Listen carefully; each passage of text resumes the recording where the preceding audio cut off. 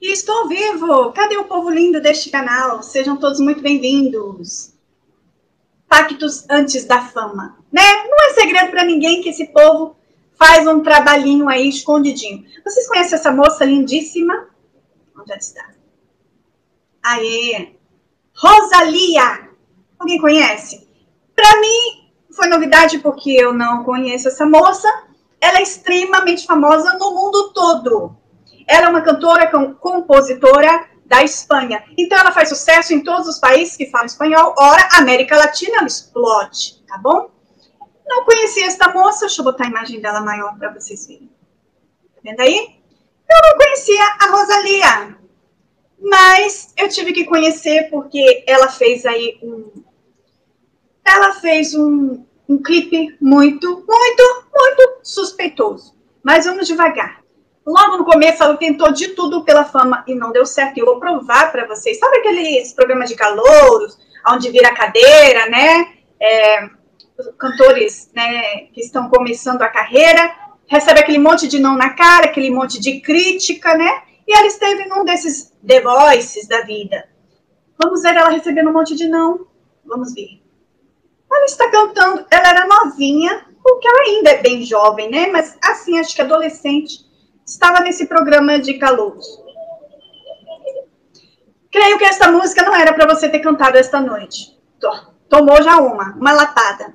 Eu achei que ela cantou bem. Tadinha, a carinha dela não era. É, você escolheu mal essa música, sabe? Não era para você ter cantado essa noite.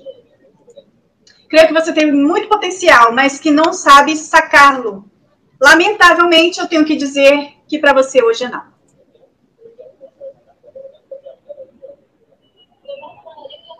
Aí, ao que ela respondeu, aos montes de maus tratos que ela recebeu, não passa nada, eu vim aqui aceitar as críticas e aprender dos profissionais como sois vós outros, né? Porque eles são profissionais e ela não. Tadinha da bichinha, tomou-lhe uma chulapada, né? Então, ela levava um monte de portas na cara, como todo cantor que está começando, até que vamos virar a página de, desta vida cruel e passar para a página da fama. O clipe exatamente fala sobre a fama. Não poderia ser diferente. Olha o nome do clipe. Lá, porque é em espanhol, La Fama. E o clipe de Rosalia, La Fama, eu vou ler, antes de mostrar o sacrifício humano, eu vou ler a letra da música, que eu acho que é tão chocante quanto a cena. La Fama. Tradução, a fama. Eu vou te contar o que aconteceu. Não pense que não doeu. Ou que estou inventando. Tudo aconteceu exatamente assim. Essa é a letra, tá cantando isso, eu não tô inventando. Isso aconteceu do jeitinho que eu tô falando. Presta atenção nessa letra. Eu tinha o meu amorzinho, ou seja, ela tinha um namorado. Era algo bem especial, mas fiquei bem obcecada com algo que fazia mal para ele. O que, que ela ficou obcecada? Com a fama. Ela queria ser famosa e ele não queria isso para ela milhares de músicas na minha cabeça. E ele percebia isso. Ele tinha um namoradinho, né? O amorzinho que ela tinha. E ela gostava dele. E ele me avisou tantas vezes e eu agindo como se não fosse nada. Ela queria fama a todo custo. Meu pai, escuta isso. A fama é uma amante ruim. Ela não vai te amar de verdade. É traiçoeira demais. Assim como vem fácil, vai fácil embora. Agora eu vou ter que mostrar para vocês. Leia aqui. Leia isso. O que aconteceu tirou meu sono, então algo grande vai acontecer com ela, tá? Entre ser famosa e não ser famosa, tá bom? Não consigo nem pensar direito, mas ela faz o sangue ferver, sempre quer mais. Sua ambição vai dando facadas no peito, afiada, é horrível. Vocês entenderam? Alguma coisa aconteceu para que ela virasse famosa e que tem sangue, tem facada no peito, afiada, hum, e é horrível, eu não consigo nem pensar direito e nem dormir direito porque tira o meu sono. Não foi eu que inventei, é letra da música. Vamos então ao clipe? Vamos lá, voltando no clipe. La Fama. Jesus Cristo. Aparece ela num cenário lindo e maravilhoso, ao que alguns interpretam uma cabeça de bode, o formato, né? Aquelas luzes assim, dá um formatinho assim de cabeça de animal. Ah, não consegui ver muito bem o bode ali, não, mas digamos que, que sim, né? E ela está ali, como sempre, meia desnuda, a, num jantar da elite. Esse jantar tem muita ostentação, tem droga, o povo é, ostentando o seu poderio, o seu controle, tem droga, já começa com o povo, né? É. Então, é um jantar maçônico, e eu vou provar que é maçônico, tá bom? Ela aparece ali com aquela roupinha super mega cena sensual, cantando, e eles querem ver se ela é boa e apta para ser famosa ou ser descartada. Vamos ver se ela vai fazer o serviço legal. E ela entra dançando e cantando para todos eles, mas ela para numa mesa. E é engraçado que nesta mesa, o único que não parece ser famoso me parece aquele namoradinho que ela tá cantando, né? Parece o tal do namoradinho que era um convidado dela, porque não tá vestido a caráter. Ele tá super mal vestido, não diria, mas não tem nada a ver com a festa, tá? Tá todo mundo muito bem arrumado. E ele tá ali com um casacão, um óculos escuros, cheio de barba na cara. Não parece, não parece fazer parte da elite. E ela só fica nesta mesa e faz sensualidade nesta mesa. Me parece que é o tal do namoradinho dela que ela está falando, que a alertava sobre a fama. Olha aqui quando eu disse que é maçônico jantar, que atrás dela você vê as duas colunas da maçonaria, tá vendo ali? Então, sim, é maçônico esse jantar, ok? Isso não tá por um acaso. E lá tá ela e Paul na barriga dele. Quando ela fala exatamente aquela frase de uma faca afiada que vai no teu peito e jorra o sangue, ela realmente é, comete ali o, o sacrifício. O rapaz cai no chão, o cenário já não é mais branco, se tornou todo vermelho e ela ostenta aquela faca, aquele punhal, enquanto o rapaz morre, toda a elite aplaude de pé. Ah, isso não é ideia minha, tá aí na internet para quem quiser ver, tá? Rosalia Lafama.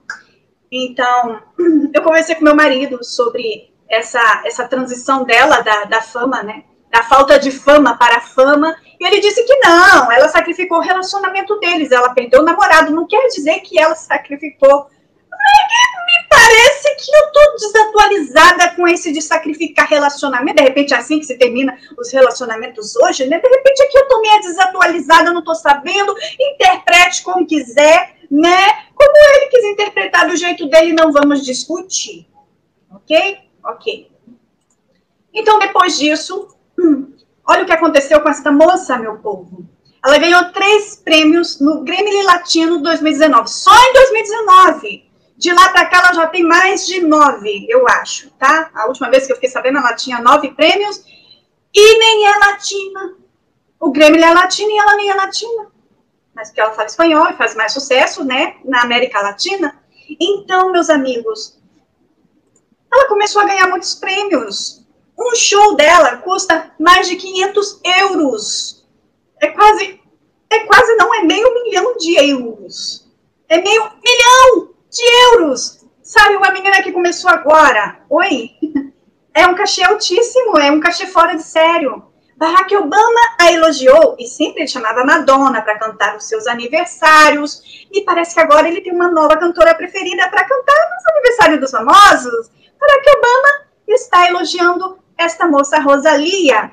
Depois disso, meu povo, é, de uma moça que ninguém conhecia, ela começou a ter vários relacionamentos com cantores, os mais famosos ao redor do mundo, todos que cantavam mais ou menos a música dela, inclusive relacionamento com mulheres tem associado a ela, não posso provar nada disso, são burburinhos, ok? Então, que ela começou a ter vários namorados famosos, está mais que comprovado.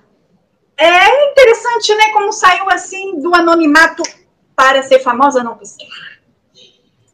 Rosalia, fez um, um clipe cantando dentro de um avião.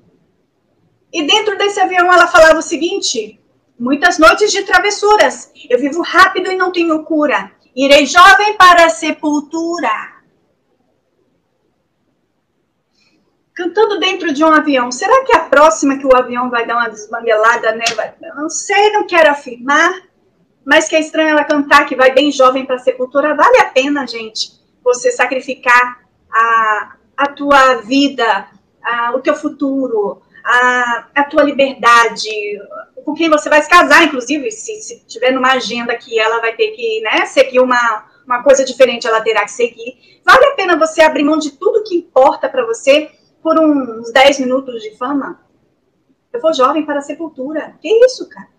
Realmente é isso que ela quer para a vida dela? Vale a pena? Você arriscaria tudo pela fama, pelo sucesso?